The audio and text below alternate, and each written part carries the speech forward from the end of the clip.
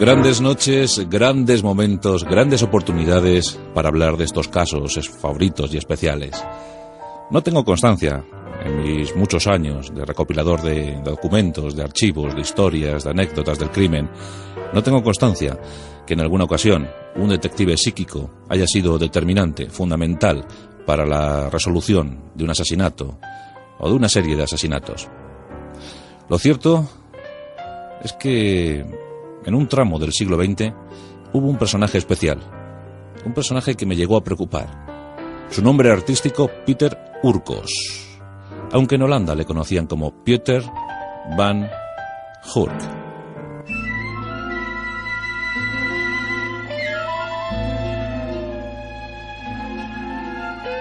Peter, como os digo, nació en los Países Bajos, un 21 de mayo del año 1911.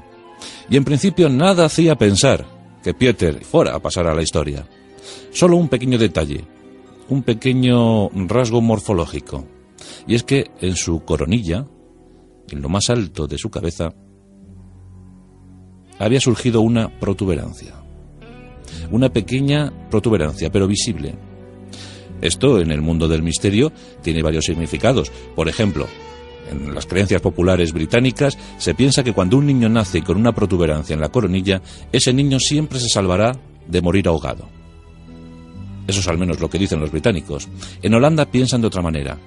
En Holanda piensan que todos aquellos bebés que nacen con esa protuberancia extraña, ese pequeño saliente en la cabeza del recién nacido, pues todos los que nacen con esa protuberancia tienen ciertamente un sexto sentido. Peter eh, no le dio mucha importancia a eso que decían en su barrio, en su ciudad, los padres tampoco en principio, pero todo cambió una buena mañana del año 1943. En esos Países Bajos ocupados por los nazis, por la Wehrmacht alemana, en esos Países Bajos donde tanto se sufrió, donde proliferaron los campos de prisioneros, en uno de esos campos trabajaba Pieter. Tenía ya 32 años. Hasta entonces una vida normal. Trabajaba en esos campos como pintor, pintor al servicio de los alemanes. Trabajando, de forma descuidada, se cayó de un andamio. Una caída muy violenta, una caída muy agresiva que provocó una conmoción en el joven holandés. Una caída de más de 10 metros. Dio con su cabeza, con su pequeña protuberancia, en el suelo. Ahí fue donde recibió el principal impacto. Y ahí es donde empezó la historia de Peter Urkos.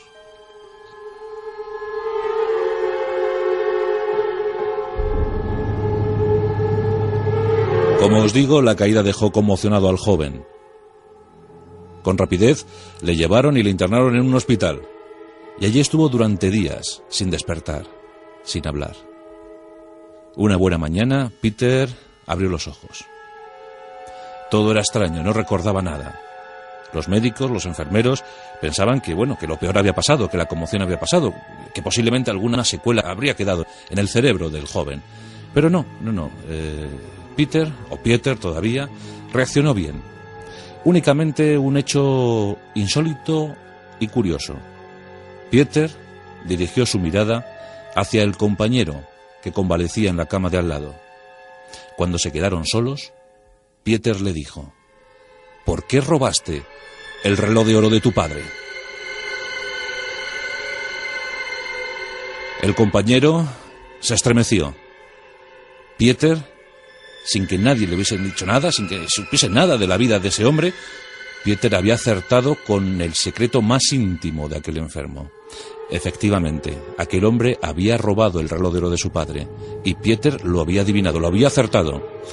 El compañero rápidamente pidió el traslado, porque, claro, el antiguo secreto había sido desvelado. No podía estar más tiempo al lado de ese hombre que había adivinado su cosa más íntima. ¿Cómo, ¿Cómo había sido posible eso? ¿Cómo Pieter había adivinado eso?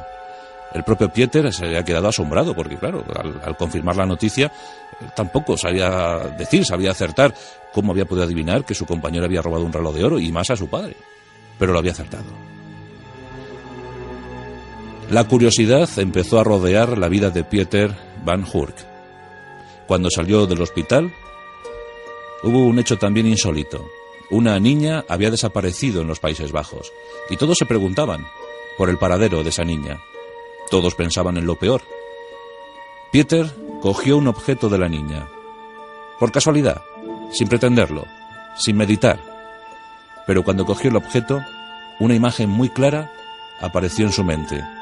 Un lugar determinado, un lugar concreto, un lugar fijo en los canales holandeses, los canales de agua holandeses. Vio una zona con vegetación acuática. Y en esa vegetación, agarrada por esa vegetación, la niña, el cuerpo de la niña. Peter informó de su descubrimiento a las autoridades y efectivamente fueron al lugar indicado y allí, para desgracia de los padres, apareció el cuerpo de la niña. Pieter Van Hurk se convirtió en un personaje muy popular en los Países Bajos. Todos hablaban asombrados de aquel hombre que tenía una protuberancia en su coronilla. Todos decían que Pieter tenía dones, que tenía facultades, que podía ver más allá. Todos hablaban de su visión rayos X. Cuando cogía una fotografía y la perfilaba con sus dedos, sabía cosas. Sabía contar cosas sobre la vida del que quedaba impreso en la foto. Cogía una prenda, un jersey, una camisa y contaba rasgos peculiares sobre la personalidad del dueño de esa camisa.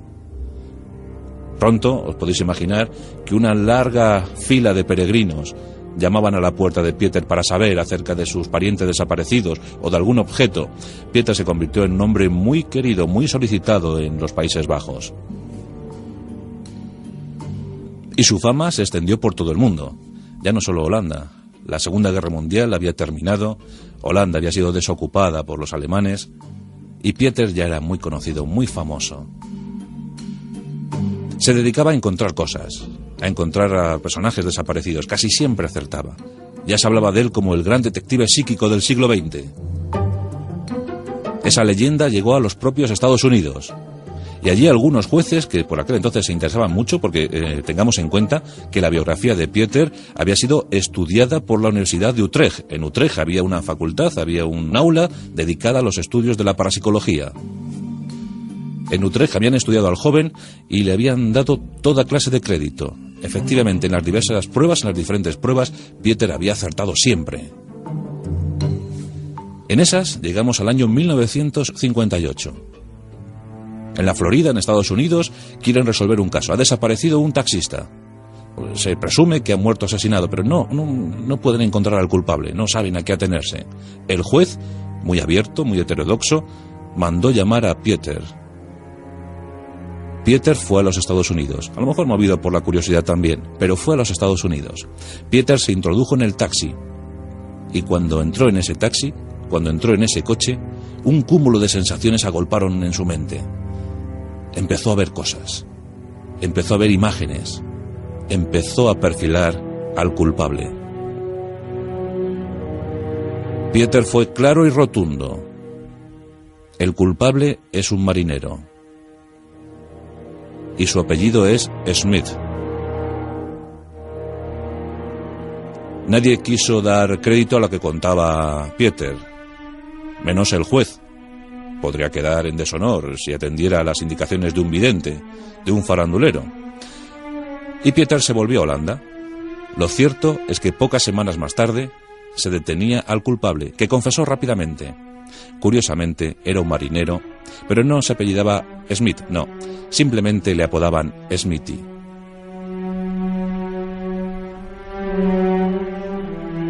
Como os podéis imaginar, la noticia no quedó oculta. Todos hablaban ya de Peter Hurkos, el gran detective psíquico. Y se empezó a enriquecer con esto.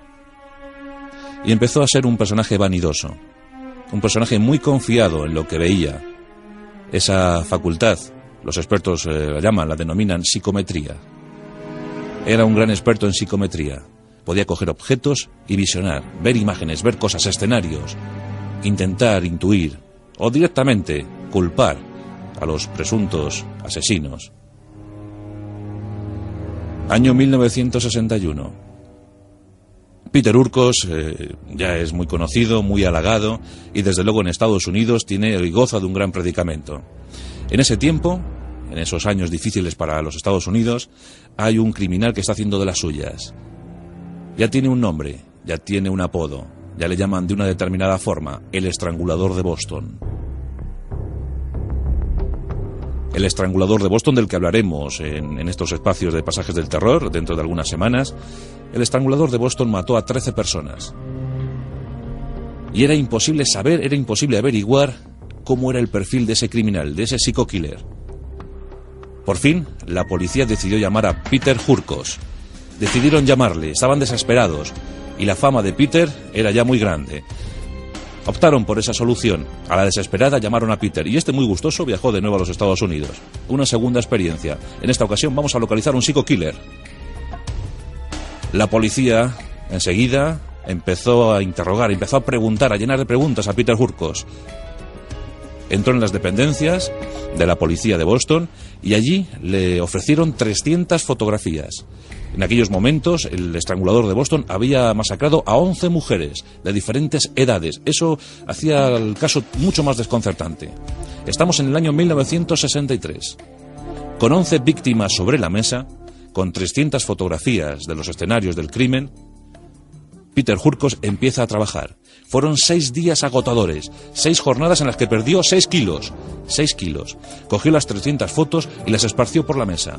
Les dio la vuelta y empezó a revisarlas una a una. Los detalles eran prodigiosos. Empezó a ofrecer cosas que la policía desconocía y que no habían eh, pasado, por otra parte, a la prensa, al conocimiento popular. Dio detalles que hizo poner muecas a los policías. En una ocasión estaban reunidos los investigadores y uno de ellos llegó tarde. Y dijo, perdón, perdón, es que el tráfico es infernal. Peter Hurkos, sin inmutarse, dijo, no, usted no ha venido tarde por el tráfico. Usted ha venido tarde porque se estaba beneficiando a una viuda de 30 años encima de una mesa. El investigador del FBI se sonrojó y poco más tarde reconoció que efectivamente eso era cierto. Los policías también son humanos. Peter Hurkos estaba asombrando a los investigadores eh, criminales de los Estados Unidos. Las 300 fotos, en alguna de ellas, en alguna de esas fotos había un cebo, era, alguna era de mentiras, alguna era una foto falsa. Peter no tuvo ningún problema en discriminar esta foto, sacó la foto del montón de las 300 y dijo, esta es falsa, esta no tiene nada que ver con los crímenes. Efectivamente, así fue. Pero finalmente dijo que el criminal lo tenía muy claro en su mente. El criminal era sin duda alguna un fetichista obsesionado por los zapatos que pesaba entre 55 y 60 kilos, que tenía una cicatriz en su brazo izquierdo y que debían tener mucho cuidado porque tiene sus facultades mentales muy alteradas. Señaló, sin ningún problema, a uno de los supuestos acusados, a uno de los sospechosos. Tenía un nombre falso, Thomas O'Brien, en un careo entre el vidente y el sospechoso, el sospechoso se derrumbó, pero no confesó. Al final acabó en una institución psiquiátrica. Sí, Peter se había crecido, estaba crecido ante los acontecimientos, y ya se veía en la facultad de decir quién era el malo y quién era el bueno.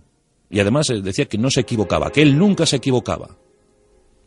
El jefe de la investigación cuestionó ese comentario y ni siquiera culpó a Thomas O'Brien, aunque sí que es cierto que necesitó una reclusión psiquiátrica. Esto ofendió mucho al vanidoso Peter. Peter estaba ofendido y por eso se volvió a Holanda. Dijo, ahí os quedáis, no contéis conmigo para ninguna otra investigación.